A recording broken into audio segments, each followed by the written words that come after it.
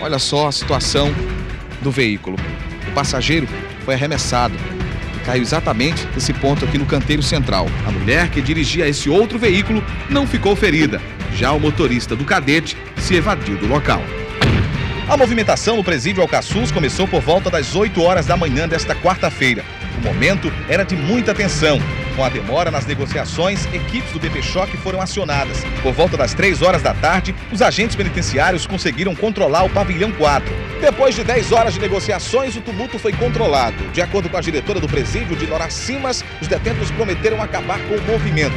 Ela disse ainda que o pavilhão 4 foi o mais prejudicado com a manifestação.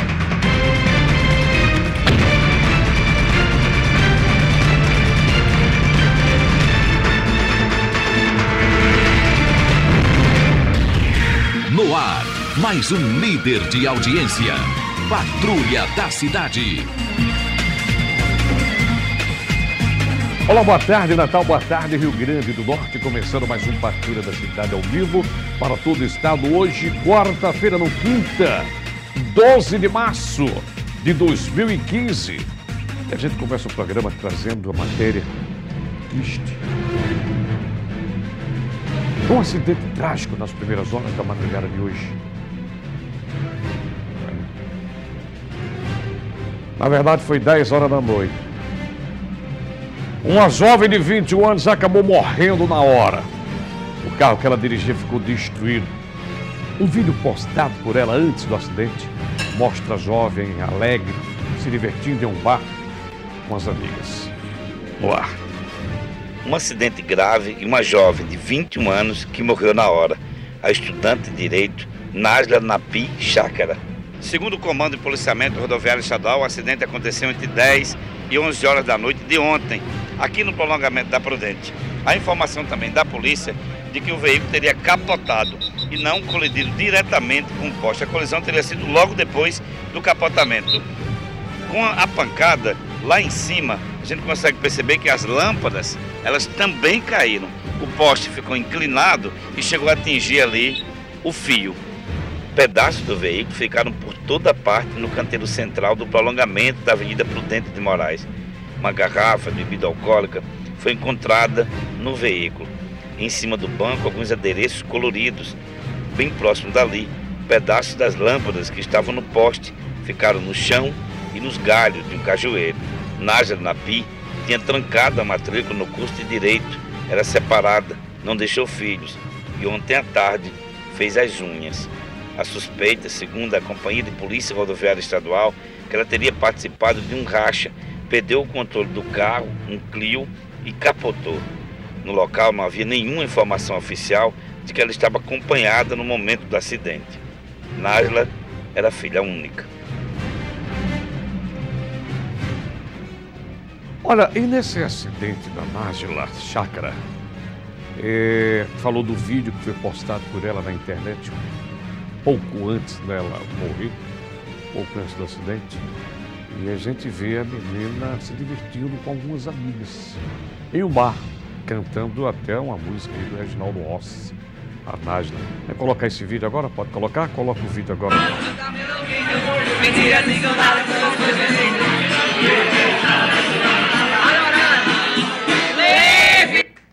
Essa menina aí de azul, essa menina, isso aí foi ontem à noite. Né? Claro que foi antes do acidente, Martins. Não é que ela é gravada depois de, depois de morta. Foi antes do acidente, ontem à noite, isso aí. Né? Ela com as meninas, com as amigas, cantando e gravando. E ainda perguntava, né, em um dos vídeos, pode falar isso? Que ela perguntava se, numa conversa com as meninas, ela perguntava assim: a gente pode morrer beba? É? Pode morrer beba? Ela, 21 anos de idade, filha única, recém-separada, não tinha filhos. Fica imaginando agora os pais, como é que estão, né? Coloca, coloca então, coloca. Ela é de Campina Grande, né? Era de Campina Grande, cursava direito, tinha trancado a matrícula, inclusive, né? Coloca, coloca no ar aí. Olha aí, olha aí. Pode, Bruna, pode. Morra não, olha aí, ó. Ó, diabo é isso, menino, ó. Morra não, amiga, tem, ó. Pera aí, esse, velho. Lipe, pode morrer beba? Ela perguntava, né? Nájila Napi. Pode morrer beba? Aí o cara começa a rir, o outro, pode, Bruna? Pode, Bruna? Morra não. Ó, isso era brincadeira. 23 horas e 30 minutos. O momento Não foi ontem, não, né? Não. É uma conversa, não foi ontem, até porque o acidente ontem foi antes disso, né? O acidente foi antes de 11 horas, isso aí é no WhatsApp, tá? Isso aí é no WhatsApp. Então, é para você ter uma ideia aí. Olha, amor, não, amiga, tem que aproveitar um pouquinho mais, viu? Olha aí, quer dizer, conversa de jovens, até parece conversa de adolescente, né? Quando está assim na, na, na fase do primeiro namoro, é? Ali arrisca tudo a ficar mal do pai, da mãe, quer fugir, pensa logo em fugir com o namorado, não é isso? Né? Teve um casamento com o cara, um relacionamento conturbado pra caramba. Não sei dizer, precisar quanto tempo ela passou casada, mas acredito que tenha sido pouco tempo. Pouco tempo, chegou a casar, separou recentemente. E aí a Nájila Nap Chácara ah, sofreu esse acidente ontem, vinha com uma amiga no banco traseiro, no banco traseiro do carro dela, está em estado grave, é isso? Está em estado grave a amiga, vinha deitada no banco traseiro, e aí não adianta perguntar, vinha fazendo um racha, vinha. Não se sabe, não se sabe. Aí apenas a menina que vinha com ela para dizer aí o que poderia ter acontecido. Sabe uma coisa? A velocidade era alta para dar uma descida e ao mesmo tempo sobe na Prudente, prolongamento da Prudente de Moraes. E aí ela chegou a capotar o carro algumas vezes antes de bater no poste. Veja só aí. Claro que o carro está aí com a cabine, com a capota é, cortada, não foi decorrência do acidente. Também, claro, mas foi o corpo de bombeiros que usou aí o, o alicate desencarcerador para que pudesse é, retirar o corpo da jovem Názila na chácara de 21 anos de idade, também da sua amiga que vinha é, no banco de trás, deitada no banco de trás. Pelo menos é o que se fala nisso. Daqui a pouquinho a gente traz mais informações relacionadas a esse acidente. Pessoal de Mãe Luísa, nesse momento, está fechando a João 23. Cadê o link? Está por lá? Não. Então, daqui a pouquinho o link já está lá. Já está lá. João 23, aquela mesma. Olha aí. Olha aí, olha aí, olha aí, olha aí. Coloca um pouquinho, coloca um pouquinho. Coloca um pouquinho das imagens. Coloca as imagens aí. Olha aí, olha aí. João 23, uma das principais ruas de Mãe Luísa. A galera, os moradores estão fechando a rua. Daqui a pouquinho você vai saber por quê. Qual o motivo dessa reivindicação dos moradores, tá bom? Daqui a pouquinho. Um outro acidente grave aconteceu na noite de ontem em Lagoa Nova. Deixou o saldo de uma pessoa morta. O cidadão de 64 anos de idade morreu na hora. Ele foi arremessado pela porta do carro que também saiu fora, no ar. O acidente ocorreu por volta das sete e meia da noite no cruzamento das avenidas São José com a Miguel Castro. De acordo com testemunhas, esse cadete cruzou o sinal vermelho e acabou colidindo com esse outro veículo. Olha, só para você ter noção da gravidade do acidente, esse carro ficou totalmente danificado. Mais adiante, nós vamos mostrar para você agora, esse cadete acabou colidindo com a base do semáforo. Olha só a situação do veículo. O passageiro foi arremessado e caiu exatamente nesse ponto aqui no canteiro central. Mais adiante, dá para ver a porta do cadete. E bem ali, o semáforo que também quebrou e caiu nesse ponto que você está vendo agora. O passageiro que morreu no local é Armando Dias de Oliveira, de 64 anos, natural do município de Macaíba. Segundo testemunhas, uma equipe do SAMU ainda realizou os procedimentos de primeiros socorros, mas o homem não resistiu aos ferimentos. A mulher que dirigia esse outro veículo não ficou ferida. Já o motorista do cadete se evadiu do local.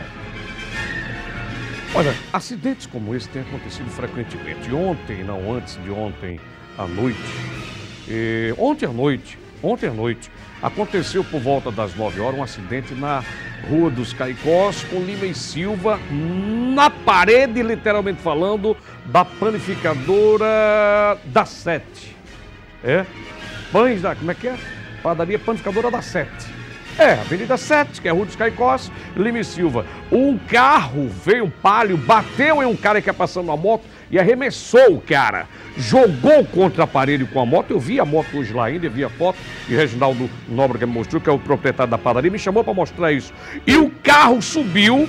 Como é que chama aquele negócio de, de linha, linha trilhos, trilhos de trem? É, trilhos que se colocam no, no, no, na ponta. O carro simplesmente derrubou e subiu os trilhos e bateu. Ele fez isso o carro, pegou na parede e ficou feito um V. Tá? A parede não despiu, foi na quina. E o motoqueiro parece que quebrou as pernas, está lá uma moto tipo Bros, e eu vi lá. Então, é ter o absoluto cuidado, o máximo possível, quando você está dirigindo, gente. Olha, preste atenção, principalmente quando não se tem semáforo. Existem lugares que tem que ter uma rotatória ou tem que ter semáforo. E essas rotatórias tem uma também aqui na tal, não sei se convém a gente fazer o comentário, ali na Ayrton Senna fizeram a rotatória, tá com os 15 dias, todo dia sobe um carro. Todo dia sobe um carro ali. Inclusive, antes de ontem, o carro subiu, bateu no muro. É uma. O que é que é? Carrilho, Heitor Carrilho ali. É uma clínica? Uma clínica Heitor Carrilho. O carro derrubou. Pelo menos oito carros já subiram aquela rotatória.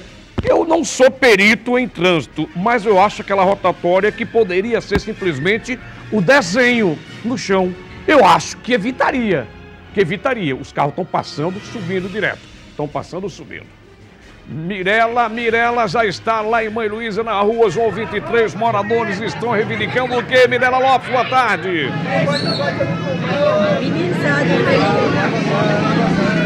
Isso, boa tarde a você, boa tarde a todos. Nós estamos no meio da João 23, olha só. A rua foi toda interditada por moradores aqui do bairro de Mãe Luísa. Apesar da chuva que a gente está vendo na capital aqui, está é, tá faltando água há sete dias. Há pelo menos sete dias falta água aqui no bairro de Mãe Luísa. Esse, portanto, seria o motivo do protesto. Nós estamos com os moradores aqui. Está tendo dificuldade aí na rotina da casa? Está aqui, ó, sete dias a gente sem água. Comprando água para beber beber, Santo a gente vai comprar para tomar banho também. A gente pede água aqui, o rapaz não tem mais água. Todo mundo hoje ainda não botou comida no fogo. Tem dia um tonto e é sete dias, não tem água, não tem nada. Ninguém toma mais banho. Pois é, Ciro, o pessoal fala que entrou inclusive em contato com responsáveis da Caerne e a resposta é de que falta uma peça, uma peça quebrou e a reposição só seria na segunda-feira. Durante esse período, os moradores estavam até pegando água com outros moradores aqui da rua, né, do parte em que a encanação é diferente, ainda chegava água, agora não tem mais água em canto nenhum. Agora encerrou, não tem mais água. E agora o que, é que nós vamos fazer sem água? Sete dias sem água. O sofrimento tá grande, viu? Tudo sujo, né? E as crianças carregando água, pessoas doentes e não tem água mais. Sete dias e a pessoa que estava nos fornecendo água acabou, encerrou. E agora? Isso era outro morador aqui mesmo? Era, mas encerrou. Sete dias ele fornecendo água e não tem mais como. E a gente já entrou em contato, manda guardar e nem carro o Pipa sequer mandaram para a gente. O sofrimento tá grande. É isso, viu, Ciro? O pessoal diz que não sai daqui enquanto esse problema não for resolvido e a previsão da CAERN é que essa questão só seja resolvida na segunda-feira. Olha, obrigado, Mirela Lopes. Você, a gente vai voltar daqui a pouquinho. Olha, CAERN, pelo amor de Jesus Cristo, o que é que está acontecendo? Que diabos de peça é essa que não se pode comprar ou que não existe aqui no Rio Grande do Norte? Está longe essa peça, é isso? Está longe essa peça? É isso que eu quero saber. É, é vem de São Paulo, vem do Rio, vem de jumento, vem a cavalo, vem numa tartaruga ou não se tem dinheiro para comprar? Isso eu não acredito. Dinheiro deve ter. Dinheiro deve ter. O que não pode é a gente, no tempo de chuva como está, alagando ruas e mais ruas, e o povo de Mãe Luísa, o povo sofrido de Mãe Luísa, principalmente na rua João 23, está faltando água. A gente com água pelo pescoço, com chuva, tigre siberiano. E mãe Luísa faltando água. Aí, quanto é que custa um carro-pipa? Quanto é que custa um carro-pipa? Quanto é que custa um carro-pipa? Tem ideia? Hein? Quanto é que custa? Alguém tem ideia quanto é que custa um carro-pipa? Teria pelo menos mandar uns cinco, hein? Uns cinco carro-pipa, quanto é que custa? Dependendo do valor aí, eu pago um. Eu pago dependendo do valor, eu pago um carro-pipa. Tá? Eu mando um carro-pipa para aí. Se, se for muito caro, eu, não mando, eu só mando um. Né? Agora, é, não, não, não, não posso dizer que eu vou mandar cinco carro-pipa para pagar do meu bolso. Quem tem que fazer isso é o governo do Estado. Eu não posso fazer. Mas pelo menos, é, quanto é que custa um carro-pipa? Deixa eu ver se eu tenho dinheiro no bolso. Veja aí. Tem que pelo menos um. Amenizar a situação desse povo. Amenizar, já que não estão fazendo o que se tem que ser feito. Nós vamos fazer aqui. Hã? Você quiser colaborar também, ligue para cá. Vamos colaborar. Você que tem carro-pipa, baixa o valor, diga quanto é para a gente mandar para lá. A galera que quer ajudar, a galera que quer ajudar o povo de Mãe Luísa, quanto custa um carro-pipa? Vamos mandar! O povo quer ajudar, 4009-6638. Diz que você vai ajudar. Diz. Agora não é só para ligar e dizer para ganhar nome aqui, não. É para mandar mesmo. Tá? Tem que os caras, quando a gente faz isso, aí mas diga aí, quem é a loja fulano de tal? A gente divulga aqui, o caba não dá nem tio Só para sair o nome, viu? É, só para querer aparecer o nome. Ei, Mirela de novo? Bem? É. Ô Mirela! Mirela, agora me diga uma coisa, essa é uma das ruas principais, a João 23, tá parado o trânsito ou os caras estão só fazendo zoada, o pessoal tá numa boa. É uma movimentação pacífica, na verdade é essa, né?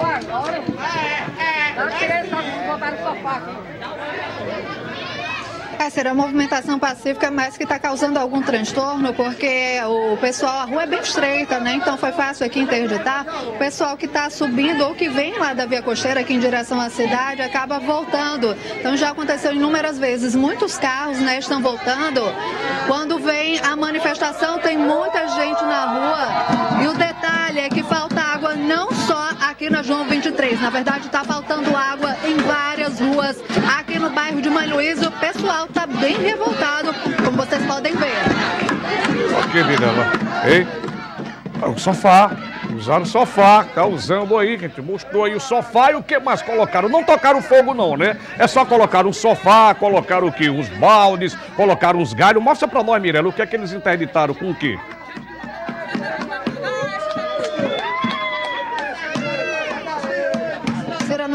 Escutar direito, que o barulho está muito alto, mas o pessoal utilizou material como sofás velhos, colchões, é, pedaços de árvore, né, de mata aqui próximo ao local.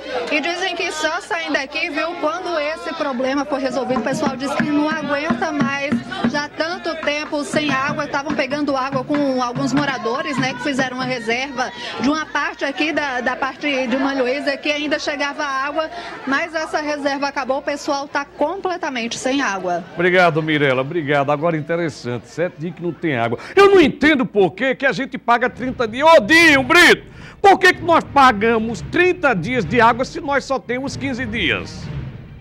Isso deveria. É, é, não poderia ter isso na Constituição, não? Como é que vem água dia sim, dia não, e a gente paga 30 dias, só tem 15?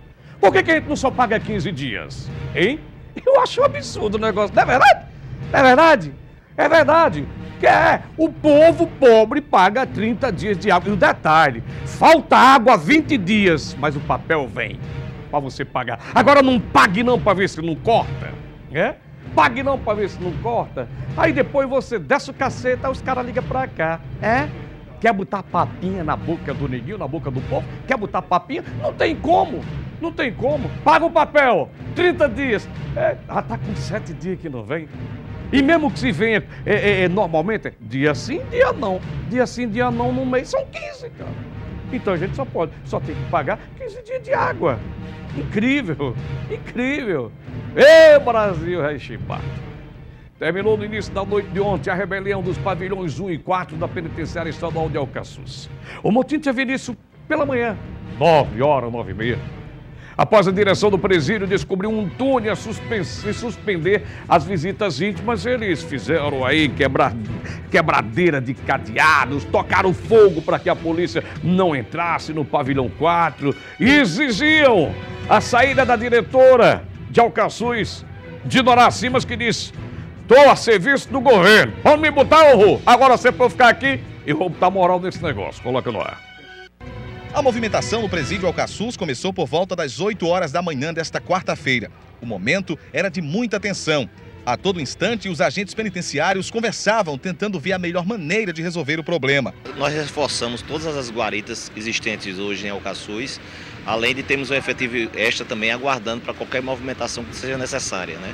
A nossa função é justamente manter é, a guarda externa desse presídio para que não haja nenhum tipo de fuga dele. A movimentação começou depois que a direção do presídio suspendeu as visitas nos pavilhões 1 e 4. Isso porque os agentes penitenciários descobriram dois túneis feitos pelos detentos. Uma fuga estava programada. O helicóptero da Polícia Militar sobrevoou o local. Com a demora nas negociações, equipes do BP Choque foram acionadas. Por volta das 3 horas da tarde, os agentes penitenciários conseguiram controlar o pavilhão 4. Os detentos ainda atearam fogo em colchões. Uma equipe do Corpo de Bombeiros foi chamada. Ontem é, encontramos no pavilhão 4. À tarde tivemos informação do pavilhão 1. Foi, foi encontrado o túnel e hoje, como a, a, a visita íntima foi suspensa para, para que a gente é, reforçasse lá o túnel que eles mesmos é, é, abriram. Até o fim da tarde, o pavilhão 1 ainda estava no controle dos detentos. Os presos quebraram portões e cadeados. Tinha fogo ainda quando a gente chegou, né? Que foi acionado pelo pilotão de choque. Tinha bastante fumaça e só com a presença do bombeiro que os mesmos podiam adentrar. Que tipo de coisa eles botaram fogo? colchões. Só colchões que eles atearam fogo. No fim da tarde, as negociações continuaram. Uma equipe do BP Choque e representantes dos direitos humanos ainda conseguiram se aproximar do pavilhão 1, onde os presos insistiam em permanecer com a manifestação. Foram momentos de muito cuidado e atenção. Os detentos gritavam a todo instante pedindo melhorias na infraestrutura do presídio e a volta das visitas íntimas. Mas, no início da noite, o problema foi resolvido. Depois de 10 horas de negociações, o tumulto foi controlado. De acordo com a diretora do presídio, de Nora Simas, os detentos prometeram acabar com o movimento. Ela disse ainda que o pavilhão 4 foi o mais prejudicado com a manifestação. O dano foi total, vai ter, vai ter que reformar o pavilhão todinho, as grades, é, a paredes, é, tudo, foi todo danificado. Como o pavilhão 4 ficou mais danificado, dos 200 presos, 66 foram transferidos para outros presídios, como a cadeia pública de Natal, o CDP de Candelária e o pavilhão 5 de Alcaçuz. O pavilhão 1 vai ficar aí, porque não houve muita destruição no pavilhão 1. Assim, eles arrancaram as grades, atearam o fogo só no hall, nas celas não. E nós vamos fazer a reforma já a partir de amanhã. O secretário me ligou, a, a, a partir de amanhã já vai começar a reforma do 4. Aí que vamos fazer? Colocar o pessoal do 1 para o 4 e fazer a reforma do 1. Não denorar, ao contrário. É, colocar o pessoal do 4, que foi completamente destruído, para o 1, para fazer a reforma do 4, denorar. Tu, tu tá tão aí é, com a cabeça. É, não dormiu. Não dormiu com esse negócio todo. Não tem quem durma, né, Dinorar? Mas não rei aqui não é para dormir mesmo, nós para trabalhar. É. Agora vai fazer o seguinte, Dinorar. Contrário. Pega o pessoal do 4, joga para o 1 para fazer a reforma do quadro. Agora aproveite, façam, usem, usem aquele material que eu sempre dei dica que há quatro anos, ninguém me entende. Não sei porquê, cara. Ninguém me Bota uma enxapa de ferro no meio das paredes, no solo. Bota uma enxapa de ferro, depois cobre de concreto. Não. Essa, cimento com cuspe não resolve. Areia com cuspe não resolve. Chapa de ferro, eu quero ver os caras fugir. Custa, gasta dinheiro com tanta coisa. Essa semana nós mostramos aqui no Planalto uma obra que entregaram lá, a prefeitura entregou, uma obra de 220 mil reais. O que foi a obra? Era uma obra mesmo, obraram legal, obraram. Um buraco e um bocado de pedra dentro. Uma obra, 220 mil. É, é 200 mil conto de ferro. É, é mais. Uma jeira. Eu queria ver ter mais fuga, mas não fazem não, porque porque se fizer isso aí não foge mais ninguém, aí tem que mostrar trabalho, né? Tem que mostrar trabalho, né? Isso é igual, é igual o Cabai Mossoró, né? J. Nobre e Zé Antônio dizia assim, J. Nobre jogava, um, um, Zé Antônio jogava um lixo na rua, é, dentro do carro da reportagem, um papel, aí J. Nobre disse, rapaz, não faça isso não, suja a cidade não. Aí o nego Zé Antônio dizia, rapaz, mas se eu não sujar, os garis não têm trabalho, tem que. É o de uma mãe, né? Como é que os garis vão trabalhar lá? Não faça isso. Seja educado. Lixo do lixo. Deixa eu falar aqui agora que você vai